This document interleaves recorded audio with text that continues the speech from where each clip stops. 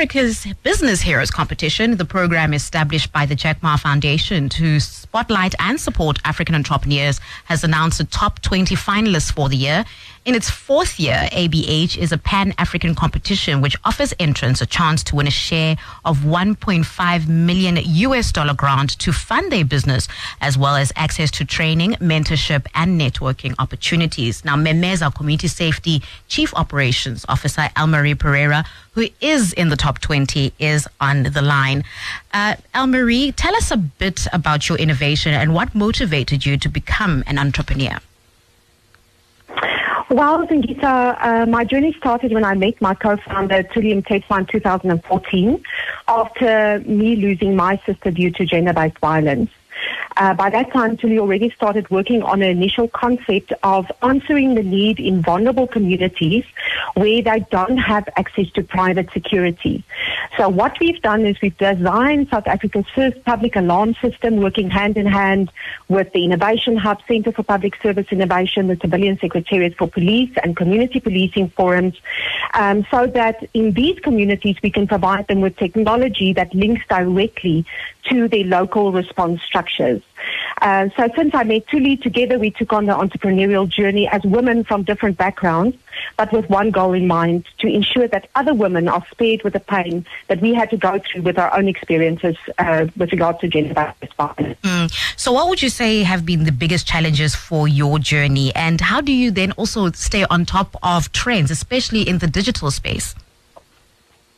Well, thank you, sir. I think entrepreneurship is probably the most exciting, but also the most most scary journey you can be on. Mm. So the biggest challenge we have faced has been accessing funding funding to continuously move to the next stage of our social enterprise. There's been a lot of funding available from government to assist with the initial development of the concept, the technology to solve service delivery issues and answer social challenges uh, which we are fighting, which is crime and gender-based violence. But then when you get to the stage of commercialization for these products, especially because they are aimed at the lower innocent market, yeah. that's when really, you know, it becomes challenging. So uh, the difficulty having enough cash flow to continuously grow our team has been a challenge, although, you know, we've been able to grow a team to 24 dedicated crime fighters to date. And we're so blessed to have the team that we have. Uh, but I would say cash flow is probably one of the biggest uh, challenges for any entrepreneur in the journey of growing your business. Mm. And it's worth mentioning that, I mean, you're in the top 20 out of 21,000 African entrepreneurs. So that in itself is just an achievement. But if you could just share some insight on the journey and competition, and what would you say would be your takeaways, whether you win or lose? I mean, we're hoping you get the money, but if not, what would be some of those takeaways? well, Lisa, all I can say is wow, what a journey. The ABH team knows how to put together an entrepreneurial journey that teaches you the, you know, what you need to do as an entrepreneur to succeed while they take you through this journey from, you know, from a competition point of view. So this is actually our second year applying for the African Business Heroes competition. Mm. Last year we made it to the top 50. This year we made it to the top 20, which we are so um, excited about. And the learnings we get from the journey is what helped us prepare for the next step this mm. year. So we're very nervous, very excited about the next step to go through to the top 10. And I think what got us this far really is our focus on impact.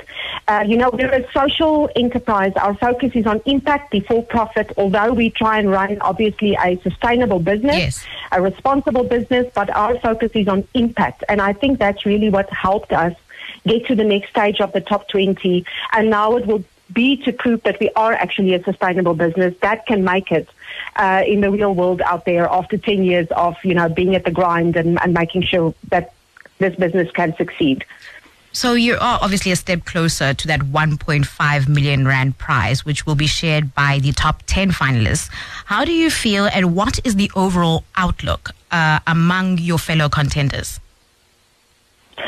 Currently, you know, there's so many mixed feelings. I think speaking for myself and listening to the other contenders, it's nervousness, it's excitement. Um, and I think all of these 20 businesses need this investment to go to the next level of their business. Mm. Um, the, the fellow top 20 contenders are all superheroes in their own right, and we've got tough competition. Uh, but we're definitely going to give it our best to get to the top 10. Um, but I think it's just the overall excitement of knowing that you made it this far.